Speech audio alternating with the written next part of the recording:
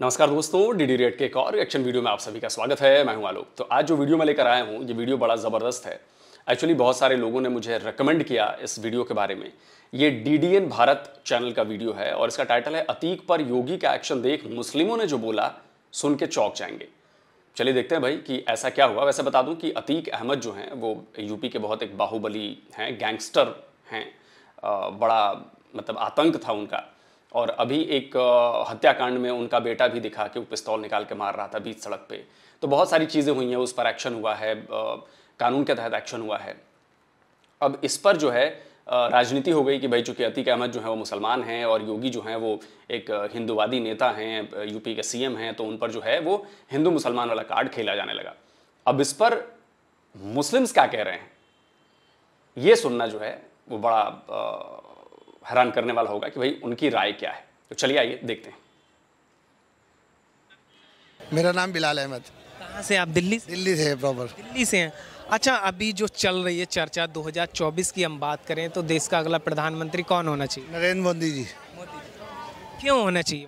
काम बढ़िया हो रहा है हमारे देश में। क्या काम बढ़िया बताओ क्या हो रही है? हिंदुस्तान अब आगे गया एक है बार जितना हिंदुस्तान अब आगे चला गया सत्तर साल पिछहत्तर सालों में कभी नहीं किया था जो मोदी जी के राज में गया है। अतीक अहमद का जो अभी मामला चल रहा है प्रयागराज में बिल्डोजर की कार्रवाई हो रही है उसको कैसे देखते हैं? आप क्या कहेंगे? देखो जी जो क्रिमिनल है उसके साथ सब कुछ हो। हिंदुस्तान के अंदर हर चीज़ होनी चाहिए अगर वो क्रिमिनल है तो। और अगर शरीफ आदमी है तो उसके साथ कोई ज्यादती ना हो। अगर वो क्रिमिनल है तो उसके साथ जो हुआ बढ़िया हुआ। अच्छा सपा के एक जो नेता हैं सफीकुर रहमान बर्ग वो कहते हैं कि मुसलमानों पे अत्याचार हो रहा है मुसलमानों को ही टारगेट किया जा रहा है। अगर वो क्रिमिनल है चाहे वो मुसलमान है हिंदू है ईसाई है सिख है उस पर कार्रवाई होनी ही चाहिए। और इससे भी ज़्यादा सख्त होनी चाहिए। इससे भी ज़्यादा सख्त होनी चाहिए। बिल्कुल बिल्कुल। अच्छा जो कुछ लोग कहते हैं कि जो बांटने का काम कर रही है हिंदू मुस्लिम हो रहा है क्या लगता है आपको? हो रहा है भाजपा सरकार में? देखो जी हम तो दिल्ली में रह रहे हैं हमें तो कहीं दिखा नहीं। अगर कहीं यूपी में कहीं हो रही है तो उसकी तरफ़ को सरकार को खुद ध्यान देना चाहिए। हमारे दिल्ली में ऐसा कहीं भी नहीं है। सब हिंदू मुसलमान सब एक तरीके रहते हम तो यहाँ हमारे बहुत सारे दोस्त हैं हिंदू हैं। हम यहाँ चांदी चौक में रहते हैं। हमें पचास साल हो गए यहाँ पे। तो हमारे साथ तो कभी हमने ऐसा देखा नहीं। लोग कहते हैं खाली सुना ही सुना है हमने। यहाँ तो सब भाईचारा है। अच्छा देखिए मैं अक्सर पाकिस्तानियों की बातें सुनता हूँ। वो कहते हैं कि जी ये झूठ बोल रहे हैं ये बीजेपी के एजेंट हैं। इनको डर के बोलना पड़ रहा है कि जी उन्हें तो वहाँ रहना है इसलिए डर है। आप ये बताइए कि इनके चेहरे से आपको क्या डर झलकता है? क्या इनके चेहरे से ये ज़रा सा भी एहसास होता है कि भाई, ये डर के बोल रहे हैं क्योंकि इन्हें हिंदुस्तान में रहना है, इन्हें भारत में रहना है? अरे भैया, भारत उनका देश है, भारत में उनकी ज़मीन है, भारत में उनके पुरखे रहे हैं। अपने देश में, अपनी ज़मीन पर काहे का डर? तो ये जो आप लोग ज़बरदस्ती का हवा बनाते हो ना, देखिए, हिंदुस्तान को आप लोगों ने देखा नहीं अभी।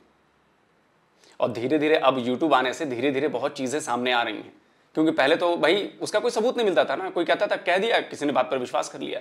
लेकिन अब मुझे लग रहा है कि पाकिस्तान में भी कुछ लोग ऐसे हैं, अभी बहुत ज़्यादा नहीं है, लेकिन वो सच को तलाश करते हैं। अब वो देख चुके हैं कि नहीं यार, जो हमें बताया जाता है, जो हमें सिखाया जाता है, यहाँ तो मामला उलट है। और कोई किसी के कनपट्टी पे बंदूक रख के कब तक कोई चीज़ उगलवा लेगा भाई?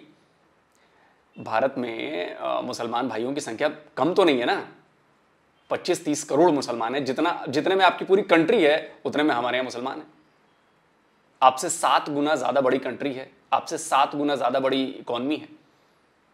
तो ये सब चीज़ें देखनी चाहिए। और बिना इतनी बड़ी संख्या में किसी कोई किसी समुदाय का होना आप उनकी ब, ब, आ, क्या कहते हैं आ, उनकी मदद के बिना या उनके योगदान के बिना मदद छोड़ दीजिए योगदान के बिना कोई भी कंट्री आगे नहीं बढ़ सकती। वो चाहे कोई भी हो।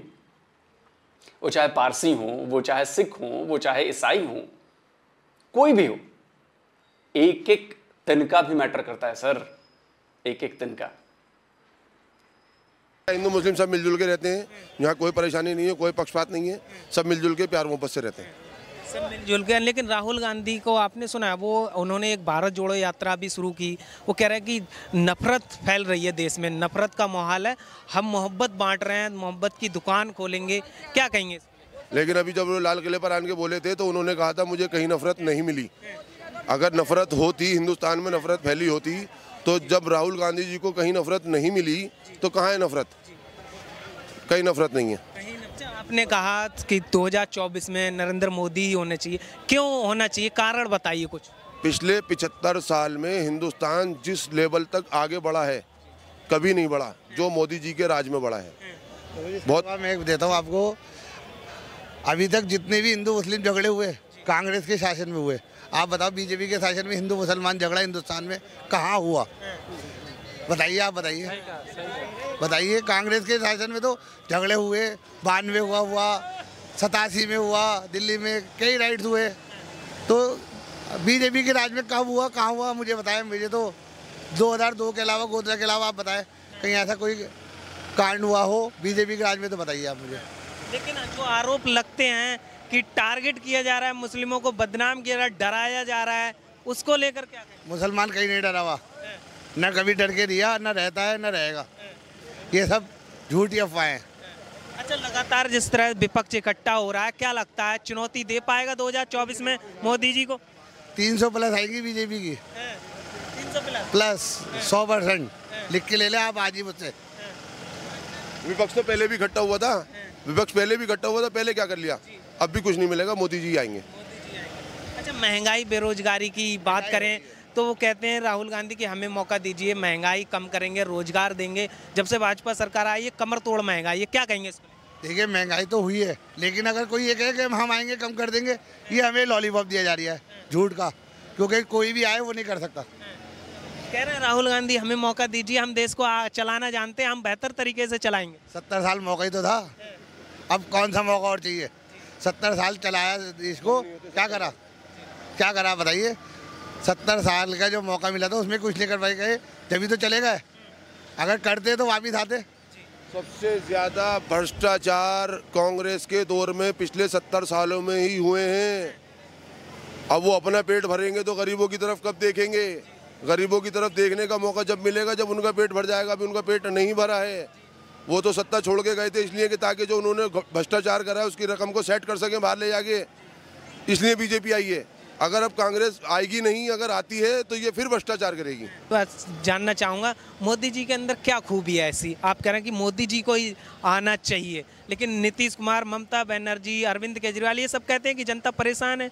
मोदी जो बांटने का काम कर रहे हैं। केजरीवाल तो बड़ा चोर है। केजरीवाल ने तो बेड़ा कर कर दिया दिल्ली का। दो दो सौ यूनिट के नाम पे ठग रिया है फिक्स चार्जेस ले रिया है ये ले रिया है वो ले रिया है। ये बताइए सिर्फ़ दो महीने दो महीने दो महीने बिल ज़ीरो क्यों आते हैं? तीन महीने। बाकी ये नौ महीने क्यों नहीं आता? बताइए आप बताइए हम तो पूछ रहे हैं आपसे भी और अपने दर्शकों अपने आप को कट्टर ईमानदार बताते हैं। ईमानदार कोई नहीं आज के दल में जो नेतागिरी करी है वो चोर है। अगर ईमानदार होते तो मनीष सिसोदिया और जेल नहीं जाते। उन पे आरोप सिद्ध हुआ है इसीलिए जेल गए वो। वो तो कह रहे हैं कि भाजपा डर गई है झूठे केसों में फंसाया जा रहा है हमारे कामों को देख कर डर गई भाजपा। नहीं ऐसा कुछ नहीं है। भाजपा अपना काम पूरी ईमानदारी से कर रही है। अगर कोई कोई कमी बेशी है तो आने वाले सालों में जो है कुछ टाइम के बाद जो है भाजपा उस कमी को भी दूर करेगी। हाँ। अच्छा तो आप दिल्ली से हैं तो दिल्ली के हम विकास की बात करें तो कितना विकास हुआ दिल्ली केजरीवाल का दिल्ली मॉडल की दिल्ली का दिल्ली में जो भी विकास हुआ था वो टोटल टोटल सिर्फ़ और सिर्फ़ कांग्रेस के शीला दीक्षित के राज में हुआ था। विकास जो है केजरीवाल ने नहीं किया है। केजरीवाल देखिए इस बात को तो मैं भी मानता हूँ कि शीला दीक्षित जो जो थी दिल्ली की चीफ मिनिस्टर कांग्रेस की नेता थी और उन्होंने बहुत अच्छा दिल्ली को डेवलप किया। मुझे याद है कि जब मैं अ, सन 2000 के टाइम पे आया था यहाँ पे तो उसमें और शीला दीक्षित जी जब रहीं पाँच साल या उसके बाद भी रहीं ज़मीन आसमान का फ़र्क आया डेवलपमेंट आँखों से दिखी थी। मैं हमेशा कहता हूँ कि देखिए पार्टी कोई भी हो कांग्रेस हो बीजेपी हो उससे कोई मतलब नहीं है। कोई मुझे कहता है कि मैं बीजेपी का एजेंट हूँ, कोई कहता है कि ऐसा है, वैसा है। देखिए, मैं किसी का एजेंट नहीं हूँ। मैं ये कहता हूँ कि जो पार्टी काम करेगी, वो तारीफ़ भी पाएगी और वो वोट भी पाएगी। शीला दीक्षित जी ने काम किया था तो दिल्ली की जनता ने उन्हें वोट दिया। अभी अरविंद केजरीवाल सत्ता में है दिल्ली के लोगों को लग रहा है कि जी वो काम कर रहे हैं तो वोट पा रहे हैं। सिंपल है बिल्कुल। और इसमें जो जनता चाहेगी, जनता के वोट को तो मानना पड़ेगा ना आपको। अगर जनता केजरीवाल जी को जिता रही है तो उसने कुछ ना कुछ तो देखा है। अब वो अच्छी बात है कि उन्हें समझ में आ रहा है नहीं आ रहा है जो भी है वो जनता का फैसला है। वैसे मैं कहता हूँ कांग्रेस के टाइम पे दिल्ली में शीला दीक्षित मैं शीला दीक्षित जी की बात कर रहा हूँ उनके टाइम पे बहुत काम हुआ। दिल्ली को बदलते हुए देखा मैंने। सच बोलने में कोई बुराई नहीं। केजरीवाल ने तो 200 यूनिट के नाम पे दिल्ली को लूटा है और हाँ गुमराह किया है दिल्ली की पब्लिक को। पानी फ्री सब कुछ फ्री दे रहे हैं कह रहे हैं। परेशानी आज भी है।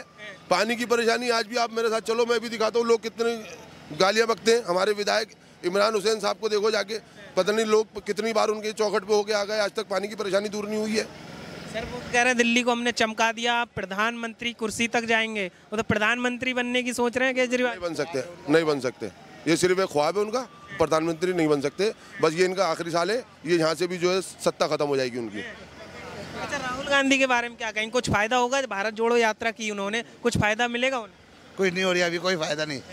सीटें बढ़ेंगी कुछ नहीं बढ़ रही बढ़ेगा सिर्फ़ उन्होंने अपना टाइम खराब किया है। कुछ नहीं बढ़ेगा उनका राहुल गांधी जी का उन्होंने सिर्फ़ अपना टाइम खराब किया है। और कुछ नहीं मिलेगा। मोदी जी का कौन सा काम अच्छा लगा जिस वजह से आप कह रहे हैं कि हम मोदी जी को ही मौका देना चाहते हैं? कि काम ये मोदी जी के सारे आप बताइए उनका काम खराब बताइए कोई था मोदी जी में सबसे अच्छी बात मोदी जी की सबसे अच्छी बात यह है कि वो खुद मुख्तारी फैसला लेने में सख्त और पाबंद हैं। जो वो ले लेते फैसला लेते हैं वो पब्लिक के लिए सही साबित होता है। और उसकी मुखालफत करने के बावजूद भी मोदी जी अपना फैसला नहीं बदलते हैं। खुद मुख्तारी एत, खुद में एतमादी होनी चाहिए फैसला लेने के लिए सही और फैसला लेने की ताकत जो मोदी जी में है वो किसी में नहीं है। क्या शुभ नाम हुआ सर आपका? अच्छा बात सिर्फ़ फैसले लेने की नहीं है फैसले उन्होंने बहुत सारे लिए और ऐसा भी नहीं है जो कृषि कानून लेकर आए उनको वापस लेना पड़ा। देखिए सरकार की मंशा क्या थी नहीं थी वो सब बहस की बात है अलग बात है सब कुछ है। लेकिन किसी पीएम ने, आप ये समझिए कि उसने कोशिश की कि मैं एक चीज़ लेकर आता हूँ, नए कानून लेकर आता हूँ, भले ही कुछ भी हो, लोगों को समझ में आया, नहीं आया। लेकिन जब किसान जिद पर अड़ गए कि बॉस हमें ये नहीं चाहिए, उसके लिए आंदोलन हुआ, लोकतांत्रिक तरीके से आंदोलन हुआ, साल भर से ज़्यादा आंदोलन चला, आखिरकार भारत की सरकार को झुकना पड़ा, क्योंकि ये जनता द्वारा चुनी गई सरकार है। आप जनता अगर किसी बात पर अड़ी है कि ये काम होना चाहिए, और वो अगर जायज़ है, वो नहीं मान रहे, चलिए। और अक्सर ऐसा होता है कि सरकारें कानून बनाती हैं, सरकारें फैसले करती हैं, सरकारें पॉलिसीज़ लेकर आती हैं। हो सकता है कि जो जनता है वो उससे संतुष्ट नहीं हो, उसे कुछ और समझ में आ रहा हो, उसने नहीं माना। तो ये, आप देखिए, ये करेज की बात होती है। ये करेज की बात होती है, हिम्मत की बात होती है कि अपना फैसला वापस ले लेना। उन्होंने माफ़ी मांगी। आपने किसी पीएम को देखा ऐसे माफ़ी मांगते हुए? उन्होंने माफ़ी मांगी और कहा कि ठीक है, अगर लोगों को पसंद नहीं आया है, इस चीज़ को वापस लिया जाता है कृषि कानून को। तो ये है खुद मुख्तारी का मतलब ये है कि आप अगर ला रहे हैं तो अगर जनता को पसंद नहीं है तो वापस भी ले लिया आपने। इतना भी गट्स आपके पास होना चाहिए। हुआ? ना? क्या शुभ नाम हुआ? अब्दुल अज़ीज़। आप दिल्ली से हैं? नहीं नहीं हम पुणे से ही। पूना से हैं? हाँ। मोदी जी का काम कैसा लगा? मोदी जी का काम? बढ़िया है बढ़िया काम है मोदी जी। मोदी जी भी ठीक है बढ़िया काम कर अच्छा रहे काम कर रहे हैं। अच्छा काम कर रहे हैं हैं। क्या शुभ नाम हुआ? महेश। महेश जी? हाँ जी।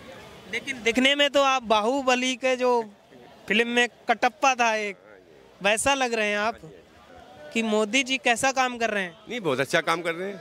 बहुत अच्छा काम बढ़िया काम कर रहे हैं। हाँ जी। ऐसा काम कर रहे हैं। नहीं बहुत अच्छा है जो कम से कम आने वाले जो है इंसान को देख रहे हैं क्या कर रहे हैं। तो 2024 की बात करें कौन होना चाहिए प्रधानमंत्री? नहीं हूँ तो निर्णय बताएगा आपका। आपके विचार क्या है? नहीं हम हम तो जो हम हम अपना बता सकते हैं ना आपको। अपना बताइए। तो हम तो उनको देंगे। तीसरी बार आएँगे मोदी जी या फिर वो तो आएँगे ही। आएँगे? जो अच्छाई करेंगे तो आएँगे। लग रहा है आपका अच्छा काम कर रहे हैं। अच्छा काम कर रहे हैं। हरा भरा है। अच्छा और क्या? गुंडे माफिया हैं उन पर बुलडोजर की कार्रवाई हो रही है जो अवैध निर्माण कर रखा था। वो ठीक है गलत? अरे गुंडे माफिया अगर तुम्हारे घर में घुसेंगे तो तुम उन्हें छोड़ दोगे क्या करोगे? तो उनका भी वही हो रहा है। लोग उनके भी समर्थन में कूद रहे हैं। जो गुंडे हैं वही कूद रहे हैं ना? जो गुंडे हैं वही तो कूद रहे हैं उनकी तरफ़? जो अच्छे हैं वो तो नहीं जा रहे हैं ना उनकी तरफ़? भाई जो गुंडे हैं तो गुंडे की तरफ़ जा रहे हैं। अच्छे हैं वो अच्छे की तरफ़ चले जा रहे हैं। अच्छे का परिणाम थोड़ा देर मिलेगा गुंडे का परिणाम नहीं जल्दी मिल जा रहा है भाई गुंडे हैं। आप क्या कहेंगे अतीक अहमद पर जिस तरह से उनके जो उमेश हत्याकांड के बाद लगातार छापेमारी हो रही है कार्रवाई हो रही है क्या कहेंगे देखो जी मैं कहता हूँ जो देश का मुख्यमंत्री है प्रधानमंत्री उसके लिए सब जो है एक माँ की औलाद के बराबर होने चाहिए। उसमें भेदभाव ना हो योगी जी के राज में एक बात बहुत बढ़िया है उन्होंने गुंडागर्दी खत्म कर दी से मैं उससे समर्थन करता हूँ बहुत अच्छा समर्थन करता हूँ। ये बात उन्होंने बहुत बढ़िया करी है मैं इसका समर्थन करता हूँ। जय मोदी जी ने जय टॉयलेट जगह जगह बनवाई है सफ़ाई का वातावरण हुआ ये मुझे बहुत इससे पसंद है। जंगल निकल जाए हमें योगी और मोदी से कोई दिक्कत नहीं है। जी जी। थोड़ी सी बुराई अगर हो जाती है तो उस बुराई को हम आप पकड़ते हैं। अच्छाई को छोड़ देते हैं उस एक बुराई को पकड़ के जो है कि हमारे साथ ऐसा हुआ। अच्छा आपने कहा कि कहीं ना कहीं तो थोड़ी सी गलतियाँ आपने कहा कि योगी जी जो फैसला ले रहे हैं गुंडागिर्दी खत्म हो गई उससे सहमत हैं आप? उससे- पूरी तरह सहमत उससे सहमत है और सहमत इस बात से भी है कि भाई सब पे हो कार्रवाई खाली मुस्लिमों पे ना हो। या एक पे विकास दुबे करके और को छोड़ दिया जाए। हर मज़हब पे जो भी गुंडा हो उसे खत्म करो खाली मुसलमानों पे नहीं सब पे। वो तो सबका सबका साथ की बात कर रहे हैं सबका विकास की बात मैं हाँ मैं ये कह रहा हूँ भाई ये जो है जो जो सब पे हो कार्रवाई बहुत अच्छी चीज़ है। गुंडागर्दी गुंडा में किसी का भला नहीं है। गुंडागर्दी खत्म कर दी। ये इस पे मैं सहमत हूँ बहुत अच्छा किया योगी ने गुंडा बनाया? जिन्होंने गुंडा बनाया अखिलेश ने ही पार्लियामेंट के अंदर योगी जी को बोला कि तुम्हारी राज्य में बम फट रहे हैं इलाहाबाद के अंदर। जी। तो उन्होंने जोश में आके कुछ ऐसे हाँ, अपने दोनों का जो बयान आया एक बहुत वायरल था योगी जी का संसद में कहा कि हम गुंडे माफिया को मिट्टी में मिला देंगे। क्या कहेंगे उसको लेकर? ये तो बहुत अच्छी बात है नहीं। गुंडे माफिया को तो मिट्टी में मिला ही देना चाहिए कोई भी हो। गुंडे माफिया का तो मतलब ही नहीं होना चाहिए देश में। इन्हें बेड़ा गर्क कर दे देश का। जगह जगह करप्शन क्राइम चोरी डके तो खत्म होना चाहिए तो बहुत अच्छी बात है। इसमें गलत क्या है? हाँ। सही कर रहे हैं काम। नहीं ये चीज़ सही से कर रहे हैं, अगर हाँ सही सही कर रहे हैं बस वो चीज़। चलिए दोस्तों वीडियो खत्म हो गया और आपने बातें सुन ली। और इस बात से जो आखिर वाले चचा बात कह रहे थे मैं उससे बिल्कुल सहमत हूँ। देखिए गुंडागर्दी में हिंदू हो मुसलमान हो कोई फ़र्क नहीं पड़ता। और मैं यूपी के बता रहा हूँ विकास दुबे गया ना गुंडई नहीं चलेगी बॉस गुंडागर्दी अगर आप करेंगे चाहे आप किसी भी धर्म के हों किसी भी मज़हब के हों किसी भी कास्ट के हों किसी को, कोई भी हो एक्स वाई जेड कितने भी बड़े क्या क्यों ना हो। कानून अगर काम अपना कर रहा है तो वो कर रहा है। और ये होना ही चाहिए। और आपने लोगों की राय देख ली। अ, मैं ये वीडियो इसलिए भी मुझे अच्छा लगा क्योंकि इससे जो पाकिस्तान के मुस्लिमों के मन में जो एक धारणा है कि जी हिंदुस्तान में मुस्लिमों के साथ बहुत जुल्म होता है उनको इस्लाम की प्रैक्टिस नहीं करने दी जाती नमाज़ नहीं पढ़ने दी जाती उनके साथ मतलब मार पीट ये वो सब कुछ होता है। आप ये बताइए कि लोगों के बीच जाकर मुस्लिम्स इसमें कई सारे थे मोस्टली थे क्या आपको लगा कि इनके साथ जुल्म हो रहा होगा? इक्का दुक्का घटनाएँ हर जगह होती हैं। एक घर में भी घटनाएँ हो जाती हैं। यहाँ तो 130 करोड़ की जनसंख्या है, बॉस। क्या आपके यहाँ घटनाएँ नहीं होती हैं? क्या वहाँ पर शियाओं और अहमदियों पर जुल्म नहीं हो रहा है क्या? वहाँ पर हिंदुओं, ईसाइयों पर जुल्म नहीं हो रहा है क्या? सिखों पर जुल्म नहीं हो रहा है क्या? आप तो 22 करोड़ में आपके तो इतने से हैं। तब आप जुल्म कर रहे हो। आप सोचो कि अगर हमारे यहाँ हो तो जुल्म हो तो इतने लोग बर्दाश्त करेंगे क्या? मैं हिंदू हूँ, मेरे ऊपर कोई जुल्म करे, मैं कब तक बर्दाश्त करूँगा? या मैं मुसलमान हूँ, मेरे ऊपर कोई जुल्म करेगा, मैं कब तक बर्दाश्त करूँगा? एक ना एक दिन आएगा जब मैं सड़क पर निकलूँगा, मैं बताऊँगा कि जी, हमारे साथ ऐसा हो रहा है। अगर जुल्म होता तो इनमें से कोई तो कहता। तो मैं इसीलिए पाकिस्तान के लोगों से मैं हमेशा ये बात कहता हूँ कि भाई, आप लोग, अब इंटरनेट का ज़माना है, आप देखें। आप दुनिया को जाने, आप हिंदुस्तान को जाने, आप भारत के मुसलमानों पर कम से कम लाखों वीडियोस हैं यूट्यूब पर। आप जाकर देखिए, वो सारे प्रोपगंडा नहीं हो सकते। वो सारे किसी की कनपट्टी पर बंदूक रखकर वो बातें नहीं बुलवाई जा सकती। तो चलिए, बहुत अच्छा लगा वीडियो देख के और आप लोगों को पता लगा होगा, अंदाज़ा लगा होगा कि ये राय क्या है, देश का मूड क्या है, देश के मुसलमानों का मूड क्या है। ठीक है, ये तीन, चार, पाँच लोग हैं, लेकिन ये रैंडम लोग हैं। ये भीड़ में से चुने गए हैं। आप देख रहे थे कि शायद एक लाल किला का इलाका था, चांदनी चौक का इलाका था, बाकी इधर उधर। तो ऐसा नहीं हो सकता कि भाई किसी को सेटिंग कर दी गई हो और ऐसा हुआ। तो कुल मिलाकर मेरे कहने का मतलब ये है, पाकिस्तान के मेरे बंधुओं प्लीज़ आप लोग फैक्ट चेक करिए, आप लोग देखिए, जितने वीडियोस देखेंगे, जितना पढ़ेंगे, उतना आपको आइडिया लगेगा कि जो आपको दिखाया जाता है, जो आपको बताया जाता है, वो नहीं है। वो प्रोपगेंडा है, हकीकत यूट्यूब पर है। तो जल्द मिलता हूँ एक और नए वीडियो के साथ। नमस्कार। जय हिंद।